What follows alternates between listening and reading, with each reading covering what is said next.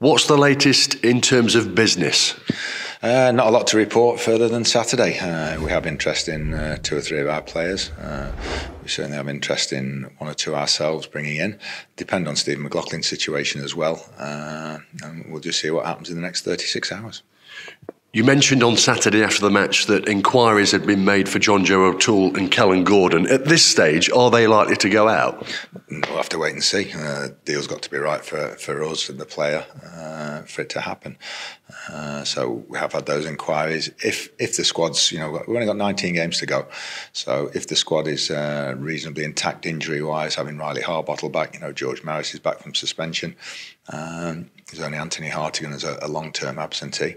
Uh, then it might be that if we can bring one in, we can we can get them out to get to get some football. Don't like players sitting in the stand. You know, they were just outside the 18 on Saturday, and I know we've got to just in case we get injuries, uh, like we did a couple of weeks ago. We lost five in one game. Uh, but with 19 games to go, if the lads are fit and okay, uh, we can take that chance because of the, the strength of the 18 19 we've got. As we speak here and now, around about 10 past 10 on this Monday morning, how many are you looking at bringing in? Once again, it'll depend on who goes out. Uh, if uh, if Kellan and JJ do go out, what happens with Danny Johnson? What happens with uh, Stephen McLaughlin's injury? Uh, make sure Hiram Boateng's okay. Uh, so it'll, it'll depend on those factors. Are you yet talking to players, or are you at the stage of inquiries?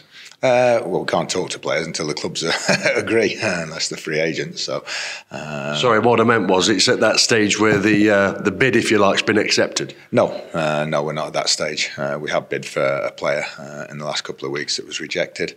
Um, we'll see how, how if we're going to revisit that and up the bid or not. and then there's a we've still got loan two loan spaces available as well, which we're keen to use if, if necessary. Are you looking now to strengthen in one particular area?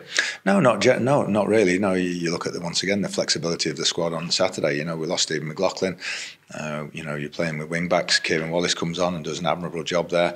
And then, um, you know, you look at Jordan Bowery, who was brilliant for the last 10, 15 minutes when he came on. And, and, and uh, ideally, you want somebody, uh, you know, uh, left-footed like Kieran. Uh, he, his position is probably central midfield. So if we can get somebody to cover Maka, we will do. We'll see.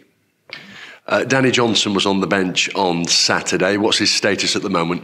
Just the same as it was before Saturday. Uh, nothing's changed there. Uh, just waiting. It's another one that waiting to see what happens in the next 36 hours. The good thing was, you know, it was one of those where you know Swanee's come on and got a goal again uh, off the bench, which he's done a lot of times this season, been uh, very productive uh, coming on.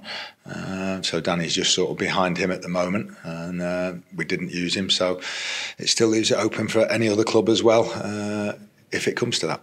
And you've still got Lewis Page in the building, I understand. Are you looking to sign him? We'll see. Once we can sign Lewis after the uh, page after the window, so that's not a, great urgency. Uh, the only thing that concerns us with him, um, he hasn't played for, you know, he had the game at Notts, got injured, and so unlucky when he was just looking good. Uh, so it's how long it will then take to get up to speed with only the 19 games to go. Stags are in action tomorrow night at the One Call Stadium again in the Notts Senior Cup semi final against Carlton Town. Who's likely to feature? There'll be a few uh, playing. Uh, hopefully, first team is mixed in with the academy, which will give them good experience uh, in a men's game and on the the one course at the One Call Stadium as well. Uh, so I think Ollie Clarke will have a little bit of time. Uh, Riley Harbottle, Jordan Bowery, uh, Jimmy Knowles uh, will hopefully start. Uh, we've had a couple of inquiries for him going out on loan. Just unfortunate that uh, Jason Law and James Gale aren't going to be fit for it.